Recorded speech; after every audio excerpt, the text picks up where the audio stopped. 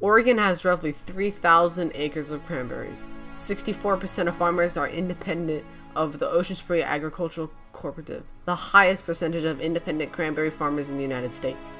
Bringing in over $12 million annually, cranberries are the fifth most valuable bilberry in Oregon. In the southern Oregon coast, they have what is called a Blacklock soil, which is a sandy soil with clay. This type of soil has nutrients bound up and is typically high in phosphorus. Soil samples determine what blend of fertilizers are blessed.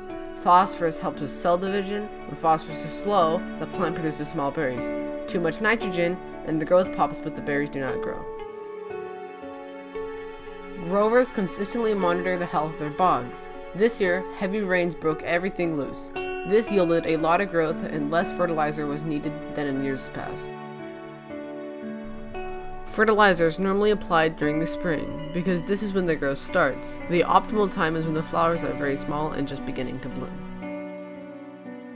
Dry fertilizer pellets can be sprinkled onto the ground. However, this takes time to break down and get absorbed by the plant. Alternatively, fertilizer can be added to the irrigation. This is called chemigation. In this way, the, nu the nutrients are on the leaves and available immediately for the plants to use.